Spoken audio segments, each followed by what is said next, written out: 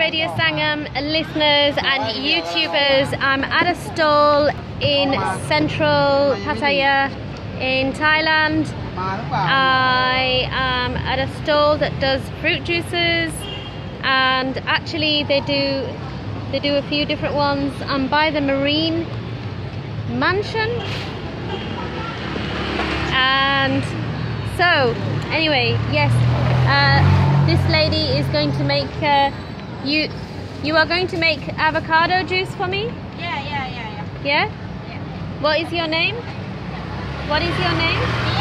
yes you Top. Top.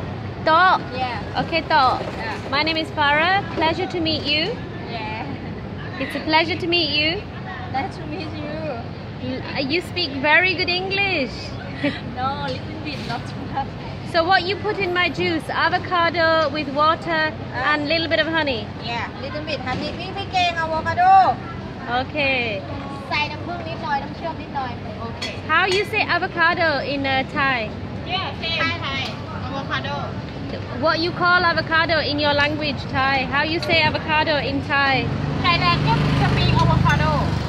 you still call avocado? Yeah, Thailand speaks it. Oh. Ah. Because not food, not food for Thailand. Oh. Uh, but if Thailand mango, Thailand say ma muang. Ma so in mua. Thailand they call a mango ma mua. Yeah, ma muang. See, I'm learning. English mango. English mango, yeah, Thai English ma mango. mua. So I'm gonna have some avocado juice. I'm tired.